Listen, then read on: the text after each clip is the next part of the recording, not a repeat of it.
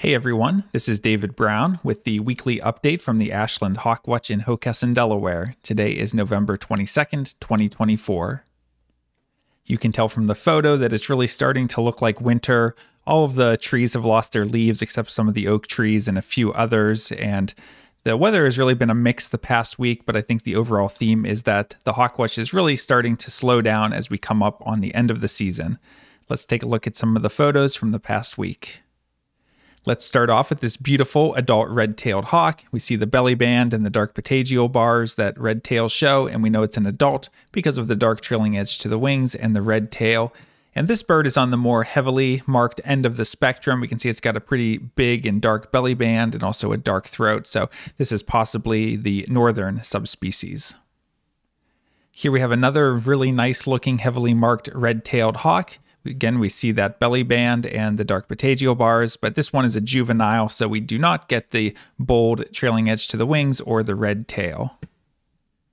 We've been getting some nice looks at bald eagles recently. Here we have a nice adult bald eagle, and I really like the way that the light was hitting this bird. Here's a raptor with a long tail, kind of long skinny wings, lanky looking overall, and an owl like facial disc. This is a northern harrier. And we see that it's unmarked underneath and here in the patagial areas and quite orange. That indicates that it's a juvenile. I took advantage of my day off and went downstate with Kim to see a snowy owl that was reported in the dunes at Cape Henlopen State Park. Although I think this bird was just a one day wonder, I don't think it's been reported since last weekend. And it seems like there's a few snowy owls starting to show up in the region. I've seen reports from Pennsylvania and other surrounding states, so keep an eye out. This could be a good winter for snowy owls. Here we have a large dark raptor, so we should be thinking eagles or vultures. And we see this bird has a big feathered head, so we should be thinking eagles.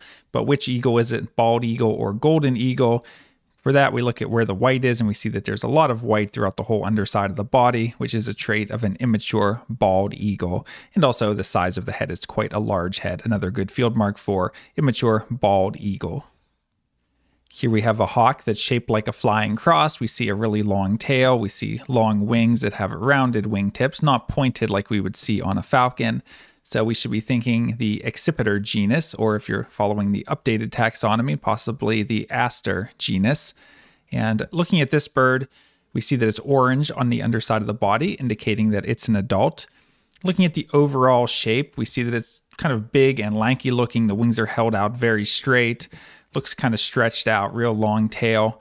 This is an adult Cooper's hawk. And one thing I would say is that in this photo, you might look at the head and say, well, it doesn't really look like a huge head like a Cooper's hawk would show. And I get that sense sometimes when you're looking at them from a distance that the head doesn't look as big as you might be expecting it to look. Sometimes it's just the angle of the photo and other things, but just from the overall posture of the bird, uh, this is definitely a Cooper's hawk. And in fact, you can even see that the outer tail feathers are slightly shorter. You get a hint of that rounded tail, and you can see the white undertail coverts fluffed out a bit as well. So, adult Cooper's hawk. Here's another adult Cooper's hawk that's perched in a tree. And looking at this bird, you can see that the back of the neck is pale. So it's kind of a capped appearance. You have the dark here on top of the head, but then it's a lighter color to the back of the neck before you get to the actual back and wings of the bird. And looking at the tail of this bird, you might say, well, that looks pretty squared off. But keep in mind that the outer tail feathers, which you want to see if they're the same length or shorter, actually tuck underneath when they close their tail like this. So you're not seeing those outer tail feathers. You're really only seeing one or two feathers here, period. So you can't really go off the shape of the tail when it's completely folded like this, but all of the other field marks look good for adult Cooper's hawk. Here's another raptor perched in a tree, which gives you an idea of what kind of days we've been having if even the hawks are refusing to fly. Looking at this bird overall, what do we see? Well, we see a belly band here. Very clean upper breast, but a very distinct belly band.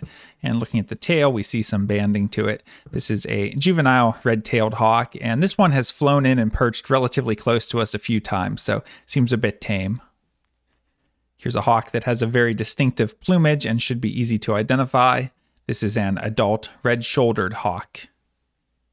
And here's a look at the underside of the same adult red-shouldered hawk. Notice all the orange coloration, and then into the wings and the tail, you have this black and white patterning. And you can even get a hint of the translucent crescents that it has near the wingtips.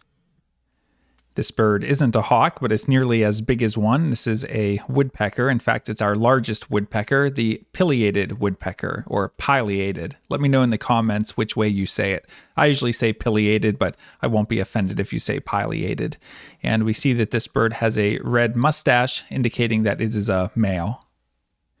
And here we have a pileated woodpecker in flight, and they're just spectacular with their large size and the white highlights that they have both on top of the wing and to the underside. And we see that this is a different bird. This one does not have the red mustache. It's just a black mustache, indicating that it is a female. And there were actually three of them that were together. They were in the trees and then they flew across one after the other. So pretty cool to confirm three of them together. Here we have the top side of a raptor. We see a long tail and long skinny wings. And perhaps the most distinctive field mark, we see a white rump. This is the top side of a northern harrier. And here's another flying cross. Again, we see a long tail and long wings and a large head. This is another Cooper's hawk, but this one is a juvenile. You can see it's much more brown and white overall with some brown teardrop streaking concentrated on the upper breast. Juvenile Cooper's hawk. Let's take a look at hawk count to see the numbers from the past week.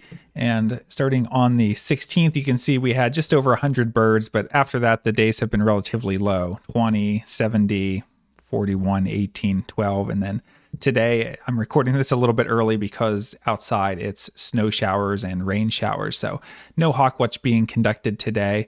Um, looking at the species that we've been getting, we're still getting a few dozen turkey vultures here and there, some bald eagles, a few harriers and accipiters moving. And we had a couple days where red shoulder numbers were still good 17 red shoulders and 24 red tails on the 16th. But even those numbers have started to drop the last few days. So we're coming into the last week of the Hawk Watch. The last day of the season is November 30th, which is a week from tomorrow.